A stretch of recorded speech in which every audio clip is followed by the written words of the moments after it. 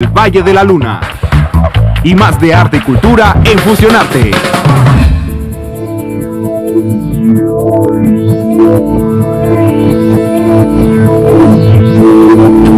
Hijo de un gran maestro que se está abriendo paso en el difícil camino de las artes, pintor y escultor. Veamos qué nos muestra su Make Fuente. Siempre entre los primeros en los concursos de artistas realizados en Panamá. Segundo lugar en el Roberto Lewis del INAC 2012. Y en el Art Show de Boquete, ganador del primer premio de escultura. Nos da a ver que es un artista con proyección internacional.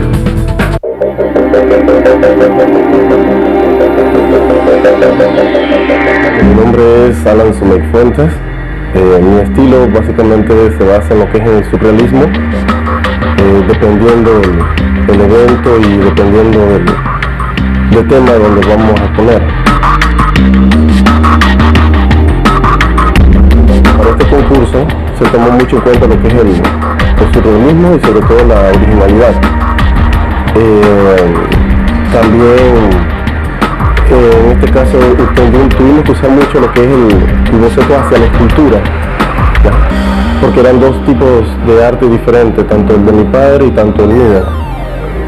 Eh, el mío era un poquito más, más juvenil, un poquito más juvenil, eh, dándole pequeño futurista, por eso le puse el, vidente inmortal, donde él va caminando en su obra y se encuentra una moneda.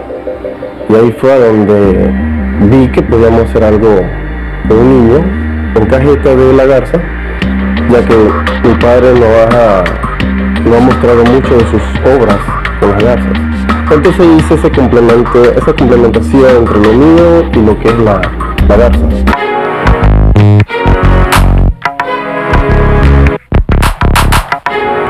Donde había que entrar un poquito, no tan, un color tan llamativo, y nos fuimos entre lo que es entre los colores bronces, los colores negros y colores este, metálicos, pues, más metálicos. Bueno, allí cuando boceteamos intentamos que el boceto tenga cuatro lados antes de empezar la obra. Cuando empezamos la obra, en este caso, integramos lo que eran los aceros, el metal. Entonces aquí utilizamos lo que es la fibra de vidrio, eh, minerales y el mármol procesado, ya que es lo que nosotros trabajamos en el lado eh, industrial de nosotros. Entonces empezamos a mezclarlos entre el la fibra de vidrio y el mármol y empezamos a detallar paso a paso lo que hacía el boceto de sus cuatro lados. Y entonces eh, dándole una vista jugosa de que el personaje tenga movimiento y tenga la esencia del y plasmar pues el, el, el tema en la obra, lo que se está pidiendo, el mismo boceto.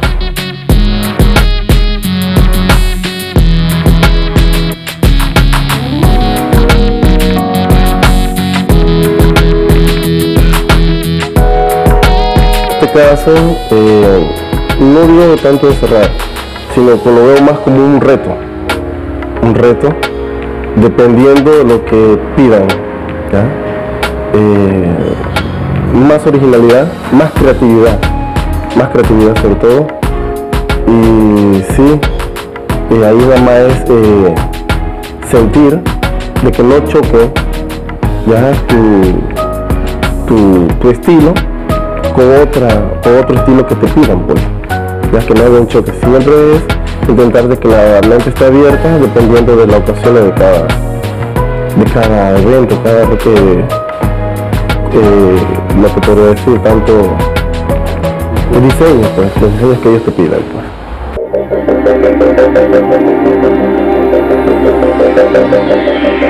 Cuando entré a esta rama mi primer maestro fue mi padre desde pequeño Eh, cuando empezaba a dibujar, este, mi padre siempre me pagaba, dependiendo del dibujo, 10 centavos o un centavo. Y así me di cuenta de que podía ganar plata. Entonces, este, mi padre cada vez que veía algo mal o veía algo bueno en la obra, me lo dañaba. y lo tiraba a la basura. Y me decía, vuélvelo a hacer de nuevo. Y eso era continuamente. Era para que tuviera más eh, paciencia, más creatividad.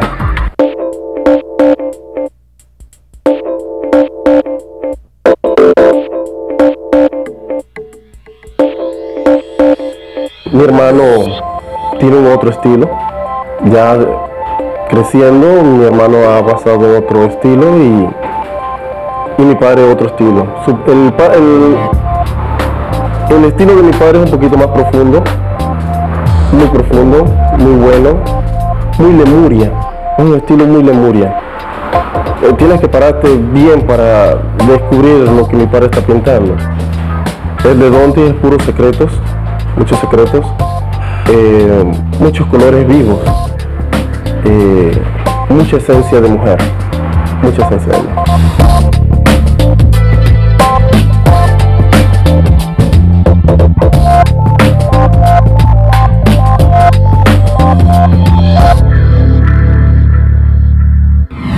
Para estar en contacto con nosotros, puedes buscarnos por nuestras redes sociales. Una de ellas es Twitter, arroba Fusionarte CERTV.